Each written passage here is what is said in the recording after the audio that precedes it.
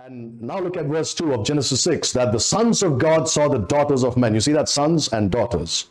Sons and daughters. Verse 4 There were giants in the earth in those days, and also after that, when the sons of God came in unto the daughters of men. Now, this whole theory that these sons of God are the children of Seth and the daughters of men were the children of Cain is nonsense, is absolutely nonsense.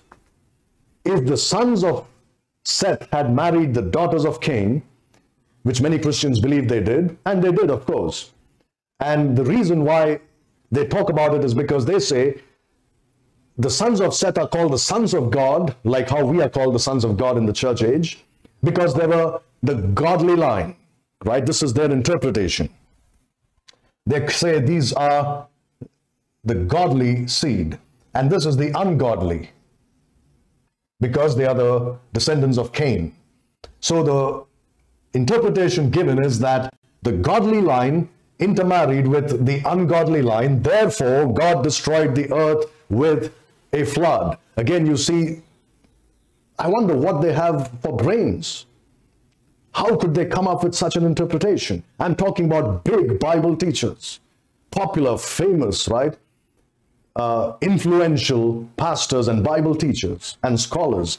They come up with such an interpretation. Something's wrong up there, you see, or something's wrong in here, probably.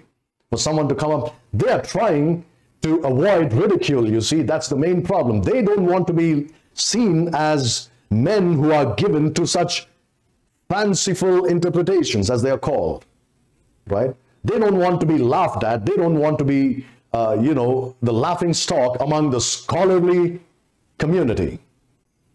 So they say, well, if you teach something else other than this, we might get laughed out of the room. So let's change it. Let's keep it very simple.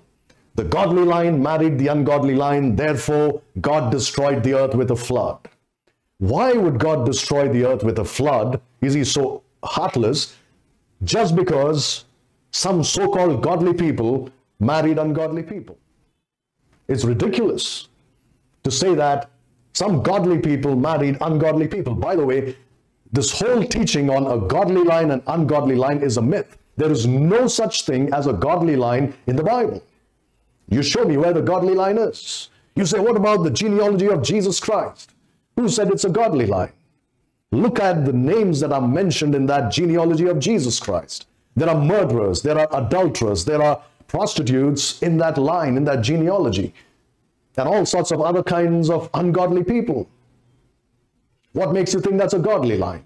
You see, their whole minds are messed with because, firstly, they don't believe the book. That's the problem. They don't believe God has preserved his words in one book. And in the English language, that's the King James Bible. They don't believe that. They think their brains are superior than this book.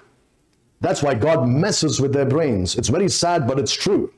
All right, I'm not just making some sarcastic uh, comments here. I'm not just saying something out of anger. This is a fact.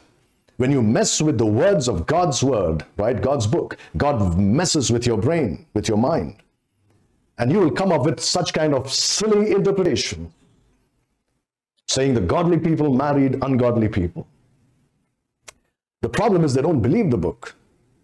So they try to give their own spin to some of these things which make them uncomfortable. You see, they're not comfortable talking about these things as they are. Again, as I've said, they're afraid of ridicule. They love the praise of men more than the praise of God. That's the problem with these people. They want to be praised.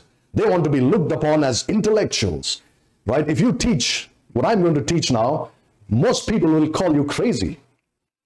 They'll say you're nuts, right? They'll have all sorts of things for that, right? They'll say you lost your marbles or this or that, but they'll look upon you as a fool, basically. No doubt Paul said that, you know, for Christ's sake, we should become fools. Talk, uh, uh you know, about these things as they are. But when you do that, be ready for some criticism, for some sarcasm at the least. Right? They'll even call you all sorts of names and they'll reject your teaching, they'll reject you. But you stand for the truth. You know why?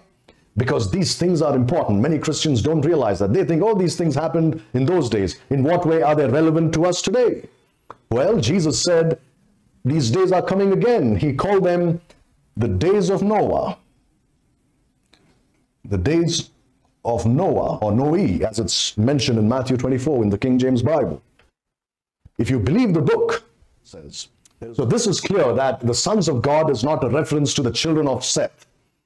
And the daughters of men is not a reference to the children of Cain. Why would the children of Cain be called daughters of men? How stupid that sounds, right?